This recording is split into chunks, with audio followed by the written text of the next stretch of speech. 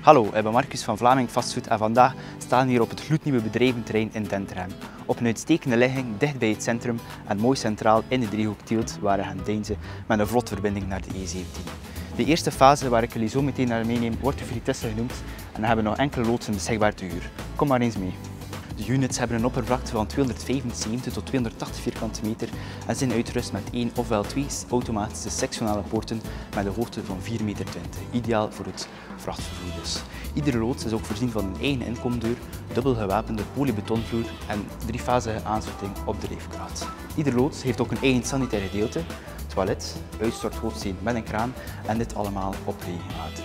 De units zijn geschikt voor een grote variëteit aan activiteiten. Zowel opslag als productie is geen enkel probleem. Ieder unit is ook voorzien van drie privatieve parkeerplaatsen waar de wachtbuizen voor een eventuele autolaadpaal al voor klaar liggen.